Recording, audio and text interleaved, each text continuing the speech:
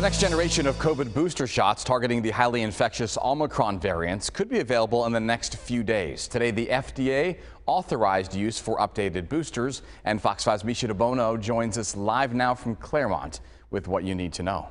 Misha.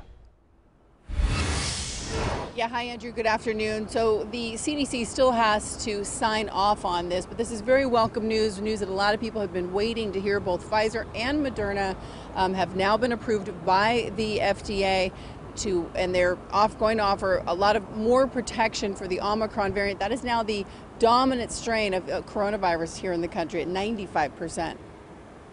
So, what this bivalent vaccine does is it increases or reinforces your original protection but it also broadens that protection. Both Pfizer and Moderna now have authorization by the FDA for their reconfigured booster shots against COVID 19 and the super contagious subvariants of Omicron. Here's Pfizer's chief scientific officer. This provides an opportunity for people once they get boosted with the vaccine to generate antibodies that can neutralize both you know original variants and the Omicron variants. Both companies' vaccines combine original vaccine with one that specifically targets BA4 and BA5 Omicron subvariants.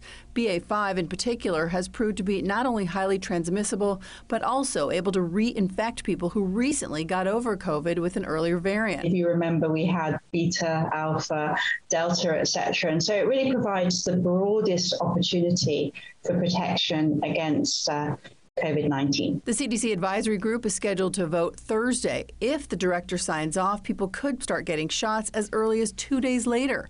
Pfizer is recommending everyone 12 and up, and Moderna 18 and older, which includes older people who may have received a booster just a few months ago, and younger people who haven't been eligible for an additional booster during the latest wave of cases. If you just had a booster, if it's two months after that, you can go ahead and get this booster. So uh, a little quicker than the previous ones. Anybody over 12, if they've completed the primary series, the first two shots, they can get the booster if it's been two months out. And for Moderna, it's actually 18 and older. Um, if all goes as planned, and there's no reason to believe that it won't, you could be getting your booster by early next week. From Clairemont Mesa, Misha DeBono, Fox 5 News. A big step forward there.